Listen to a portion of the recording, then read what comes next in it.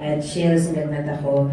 And Alden talaga, napaka, alam kong napaka, napaka uh, loving niya na, na anak.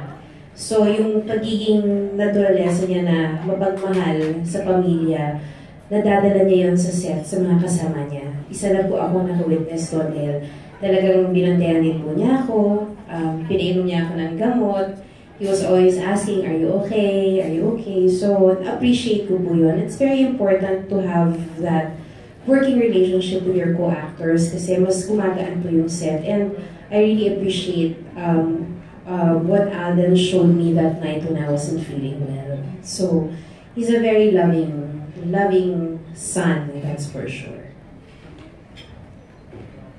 Thank you. Thank you po. Happy Valentine Day sa'yo.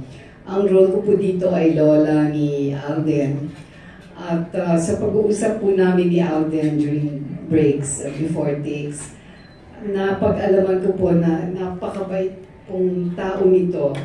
Uh, and specifically, napakabait pong apo.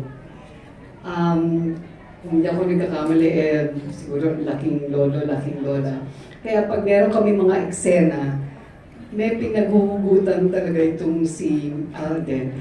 Nagsisimula pa lang kami, rehearsal pa lang kami, makikita niyo, parang tinatamaan na talaga siya.